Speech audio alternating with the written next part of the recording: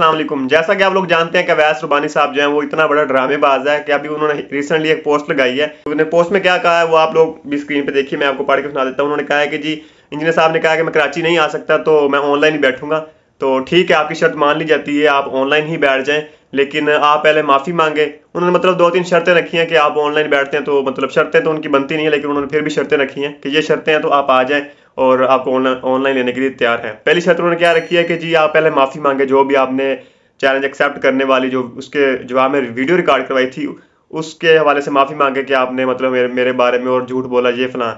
वो एक माफ़ी मांगे। दूसरी उन्होंने ये शर्त रखी हुई है कि आप आएँगे तो सही, ऑनलाइन ही आएँगे, लेकिन अगला बंदा भी जो होगा, वो भी ऑनलाइन होगा। ये देखिए आप चलाकी इसकी। और सबसे बड़ी चलाकी उन्होंने ये खेली है कि उन्होंने फिर अपनी पोस्ट के नीचे नाम दिए कि आप सजेस्ट करें कि इनमें से कौन से जो है ना उलमा या मौलवी साहब, आप इंजीनियर साहब के खिलाफ ऑनलाइन बैठ सकते हैं। तो उन्होंने नाम क्या दिए हैं जी? शेख अला यारी साहब, मुफ्ती अब्दुल वाहिद कुरैशी, मुफ्ती तारक मसूद, मुफ्ती राशिद महमूद। मतलब ये चार उलमा इनको मिले हैं। इनके अलावा उन्होंने ए टी सी कुछ भी आगे लिखा कि इनके अलावा भी हो सकते हैं। उन्होंने कहा चार उलमा इनमें से कोई भी सजेस्ट कर लें कि कौन सा आलम जो है ना इनके इंजीनियर साहब के खिलाफ बैठेगा।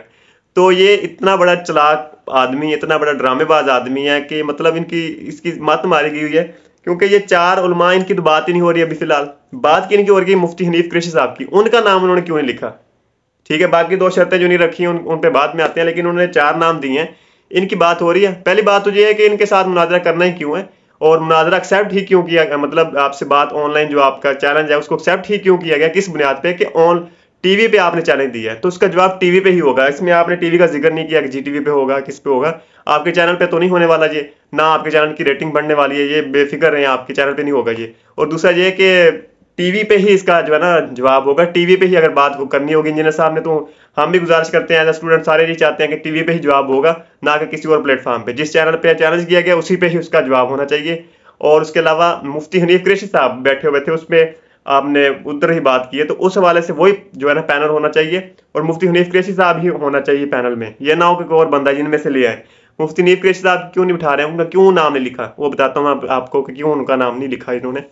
और उसके बाद टॉपिक जो है वो चिश्ती रसूलुल्लाह ही होना चाहिए। इस पर टॉपिक भी नहीं आपने ज़िक्र किया, क्योंकि चिश्ती रसूलुल्लाह जो है ना, वो आपकी रगों में हमने बसा दिया हुआ है वो निकल नहीं सकता। इस शर्त में ये भी है कि माफ़ी मांगे, माफ़ी किस चीज़ से मांगे?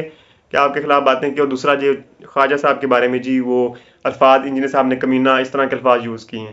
तो क्या कमीना क्या?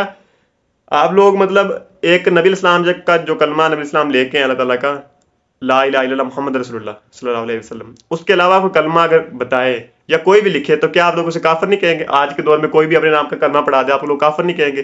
तो उस कॉन्टेक्स में ही कहा होगा ना तो आप लोग उसे काफर कहने को तैयार हो जाएँगे तो उन्होंने फिर भी कमीना कहा है एक हिसाब से, ठीक है? तो बाकी वो हैं या नहीं, उनमें क्या जो है वो इल्मी जवाब अगर दे सकते हैं तो दें आप जवाब इल्मी की, ये बात रही थी, इंजीनियर साहब को समझ नहीं आई मिसअंडरस्टैंडिंग हुई है कि ये बात ये रही थी इस तरह इल्मी जवाब बनता है, ना कि आप इस तरह कहें माफ़ी मांगे, माफ़ी तभी मांगे ना आप ऑनलाइन दें ऑनलाइन में जो है क्लियर कर देंगे इंजीनियर साहब की मैंने क्यों कहा क्लियर कर देंगे ना, पहले माफ़ी मांगने की मतलब शर्त क्यों रख रहे हैं? उसमें आके फिर बाद में माफ़ी मंगवा लेना, जो भी करना हुआ, पहले आप ऑनलाइन बिठाएँ उसके बाद सारी बात करें, वो क्लियर करेंगे। जी, मैं माफ़ी नहीं माँगता, इस वजह से माफ़ी नहीं मांगना ये कॉन्टेक्ट में बात हुई थी। तो आपको क्लियर करेंगे ना, इस तरह क्लियर किए बगैर आपसे माफ़ी किस तरह मांग ले? ठीक है?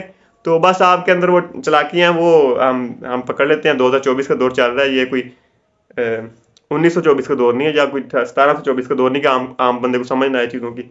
उसके बाद जी, अगला बंदा भी ऑनलाइन ही होगा। ये आपकी चलाकी देखिए इस मतलब इसका मतलब क्या है कि ऑनलाइन किधर होगा? आपके चैनल पे होगा। ये तो हो नहीं सकता। अगर हाँ टीवी पे लेना चाह रहे हैं ऑनलाइन तो बाकी जो पैनल मुफ्ती हनीफ कृषि साहब है, वो किधर गए? उसको क्यों नहीं आप ला रहे? उसका नाम क्यों नहीं लिखा? ये जो आपने छोटे छोटे उलमा, कराम, मौलवी टाइप बंदे ले आए हैं, इनकी क्या हैसियत है? इनको कौन जानता है?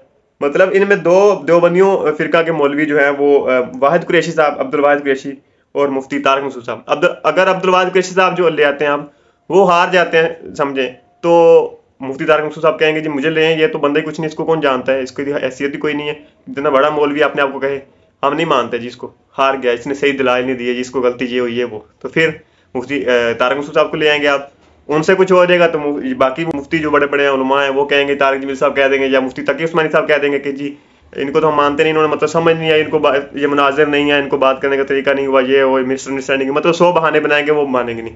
तो ऐसा को बंदा क्यों नहीं लेके आ रहे? आप आप मतलब ये क्या चाहते हैं? आप मुफ्ती तकी उस्मानी साहब, मुफ्ती मुनीबुर रहमान साहब मीर साजिद साहब, उनसे बात आप क्यों नहीं कर रहे? आपकी ज़रूरत क्यों नहीं हो रही? आप मतलब हिम्मत क्यों नहीं पा रही उनसे बात करने की? आपकी औकात ही नहीं है उनके सामने। आपकी क्या औकात है? क्या हैसियत है? आपको जानते नहीं, दरवाजे से बाहर निकाल देते हैं।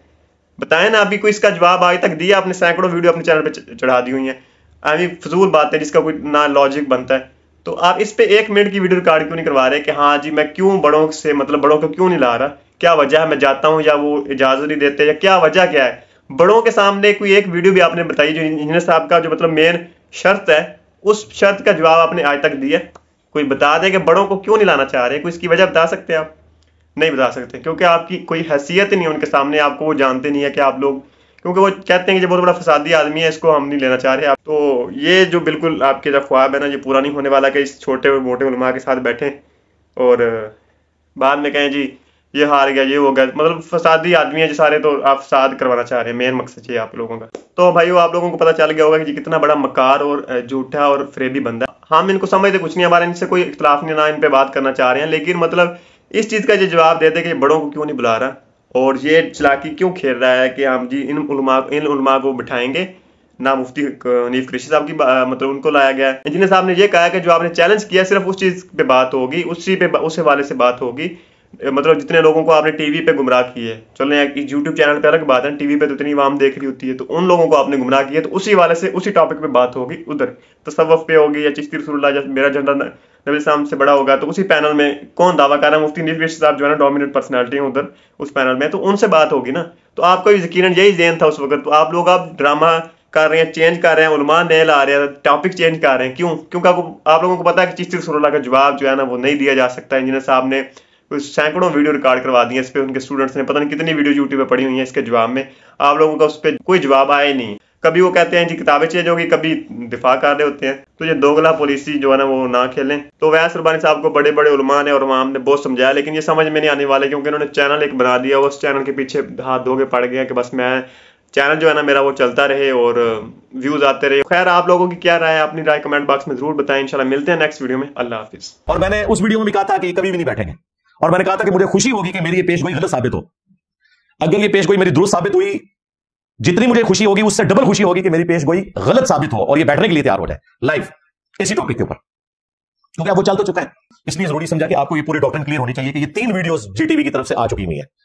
पहले वो इफ्तार के मौके पे जो लीक हुई कि मिर्जे की रूह आ गई है, फिर दूसरी वो चिश्ती रसुल्ला वाले पे उन्होंने कहा कि वो जेलम वाले आपके महबूब, उनकी वजह से सब कुछ हो रहा है। और तीसरा तो डायरेक्ट इसने आके धमकियाँ लगाई हैं कि जी मैं चपेड़े मारूं और ये करूँ। मैंने तो उसके जवाब में कुछ भी नहीं किया। मुझे पता है कि इनके घर मैयत पड़ी हुई है उनका नुआ तो बनता है। मैं तो यकीन करें, इनकी चीखें इंजॉय करता हूँ। आपने भी इफ्तार के वक्त में घर के बने हुए चिप्स रखने हैं? हाँ। और साथ आपने सादा पानी रख लेना है, या कोई शरबत रख लेना है, और इनकी चीखों को इंजॉय करना है। ये वीडियो लगाया करें बार बार मुझे तो बड़ा मज़ा आता है कि भाई सही जगह निशाने पे जाके हमारी दावत हाथ के पहुँची है अलहमदुल्ला